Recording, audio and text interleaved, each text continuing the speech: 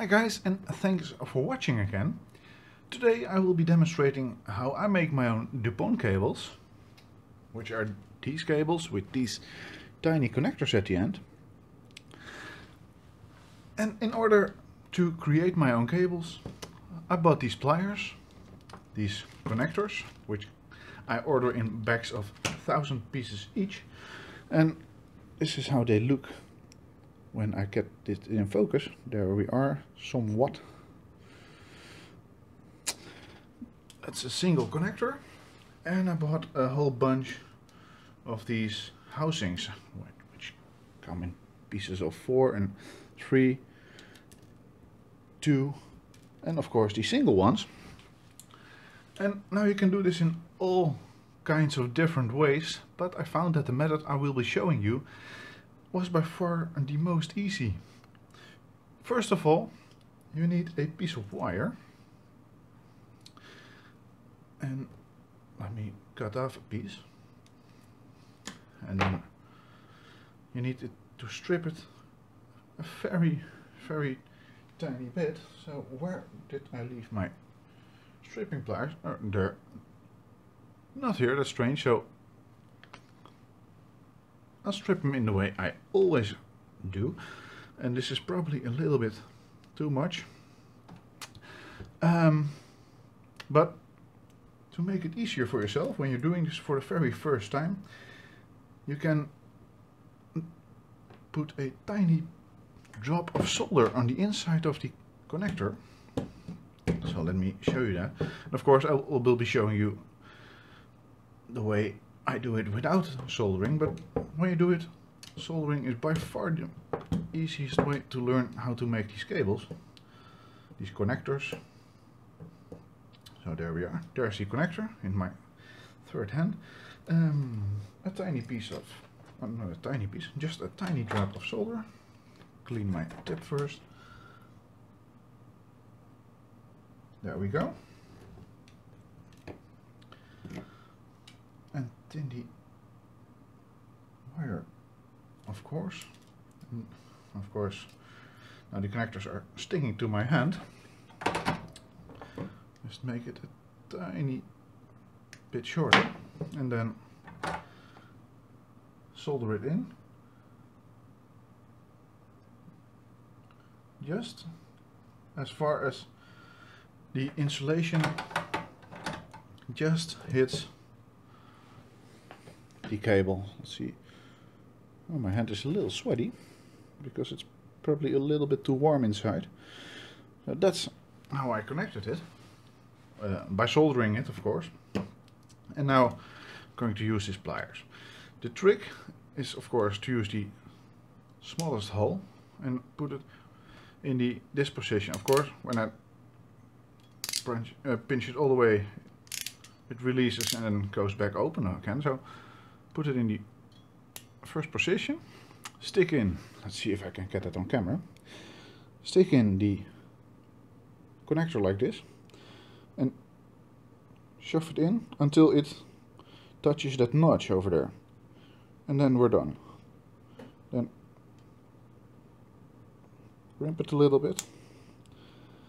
And then then I made made a mistake because it rotated and it should not rotate so I should mind that it does not rotate. And there we go. And there we are. That looks easy doesn't it? So um, of course I soldered it so it, it's of course it is easy. Um, but I also found that these pliers make the, the uh, connector a little bit too wide sometimes. I've already put this on a very uh, low gripping setting. Don't know how that's this thing is called, but it's almost at the uh, most negative side of this setting. So, um, and then when I just slide it in one of these connectors, there we go and you um, don't know if you heard that click sound, but that's that's good. You should should hear the click sound. So now let's do the other one. another one, strip it first with my front teeth when there is no wire stripping pliers in the neighborhood. And I'm not going to solder these, I'm not going to tin it either. So what I need to do then, do the exact same thing, but now do it the other way around. Um, let's see if I can get it in focus. There we are. Just pull it towards my towards my hand until it reaches that notch. Then crimp it, still holding it, and then a little bit more. There we are. Now it's stuck in there, can't go anywhere. So I can just put this on my desk.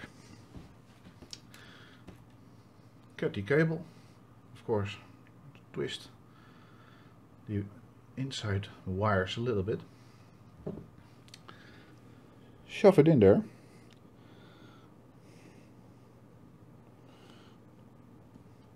There we are. And finish it.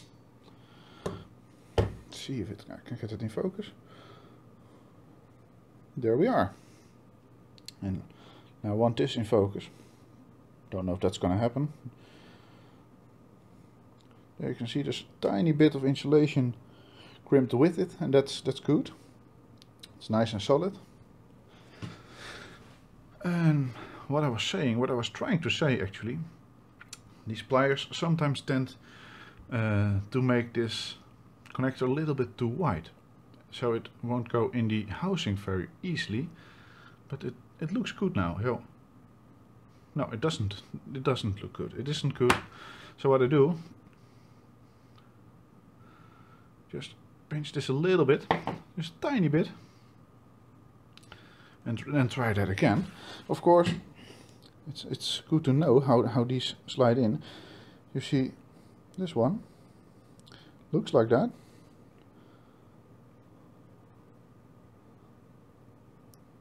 Tick, and that's done. And that's how I make my own DuPont cables. So let's see if they're any good. Um, of course, these are the headers. You can also buy them on, on eBay, of course, uh, for, for very, very little money. They're very cheap. So I put this on here and it works perfectly. It's, let's see if I can measure the continuity. So let me get my multimeter. One moment. So the multimeter is on continuity. So let's see if I did a good job making this cable.